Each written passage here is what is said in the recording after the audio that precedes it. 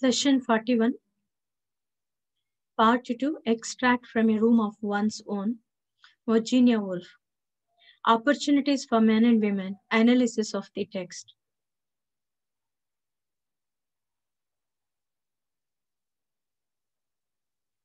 The present session discusses how the narrator turns to history to look for facts about the relationship between women and literature.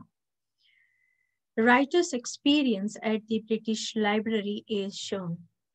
The narrator returns home disappointed at not having useful tidbit of truth from her researchers at the British Library.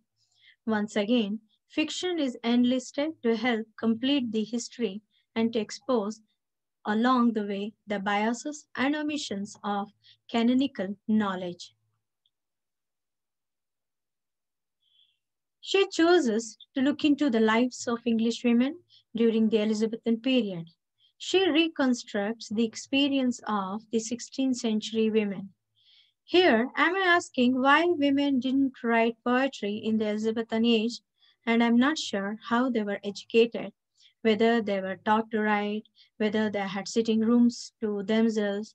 It's a virtue of Shakespeare's plays, she observes, that they seem like enchanted spider webs to hang there completely by themselves.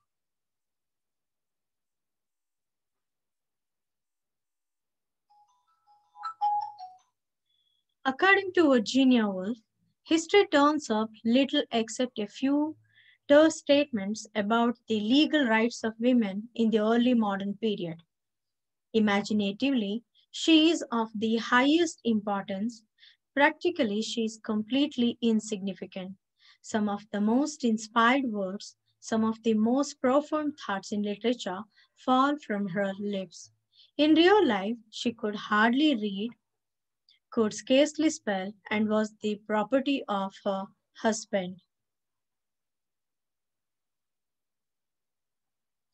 It would have been impossible, the narrator concludes from this tough experiment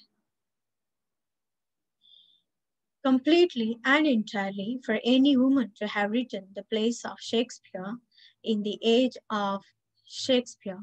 To illustrate this conclusion, she conjures the imaginary character of Judith Shakespeare.